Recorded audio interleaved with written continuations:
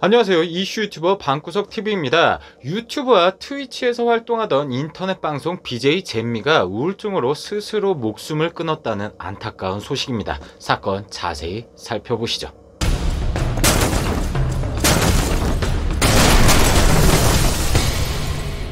2월 5일 새벽 잼미의 트위치 커뮤니티 게시판에는 잼미의 삼촌이 쓴 공지가 하나 올라옵니다.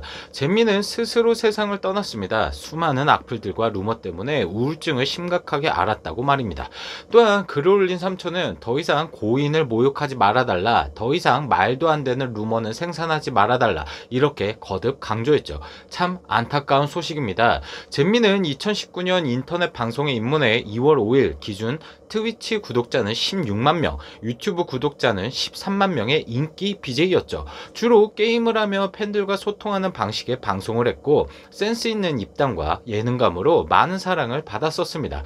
하지만 이 슬픈 결말은 잼미가 남성 혐오 제스처를 했다는 이유로 시작됐습니다. 방송 중에 바지 속에 양손을 집어넣었다가 다시 손을 빼서 냄새를 맡는 행동을 하며 남자들이 여름에 이걸 왜 하는 것인가 웃으며 여러 번 반복을 합니다. 일명 꽃가인 제스처를 반복한 것인데요. 이를 시청하던 네티즌들에게서 남성 성희롱 논란이 일어나기 시작했고 그 이후 꾸준하게 잼미는 악플에 시달리게 된 것입니다. 뭐 잼미의 행동이 분명히 잘못되긴 했지만 1차적으로 잘못을 떠나서 잼미가 꽃가인 사건에 대해 사과 영상을 올리기도 했고 울면서 방송을 그만두겠다고 밝혔음에도 악플은 멈추지 않았던 것이죠. 참 다시 돌아봐도 안타까운 사건입니다. 잘못을 사과하고 책임을 진 사람에게 굳이 악플을 지속해서 남기는 그들의 심보는 무엇일까요?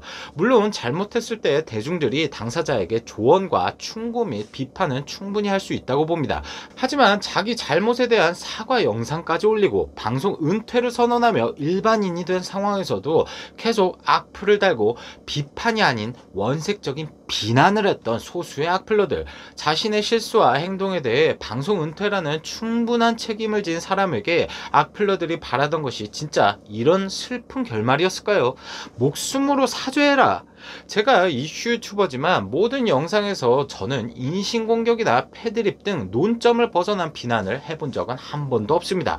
또한 사과문이나 방송 은퇴를 한 상황에서 그것으로는 책임이 부족하다고 악의적으로 까내리는 영상을 지속적으로 만든 적도 없죠. 쉽게 예를 들어 볼게요. 악플러들 당신들이 실수했을 때 당신들이 진심으로 사과했음에도 남들이 그 사과를 받아주지 않고 평생 당신들을 괴롭힌다면 기분이 어떨까요?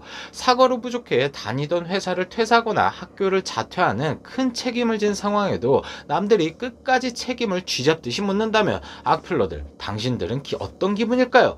앞서 말했듯이 문제가 생겼을 때 그 행동에 대한 조언과 충고, 비판은 충분히 할 수 있습니다.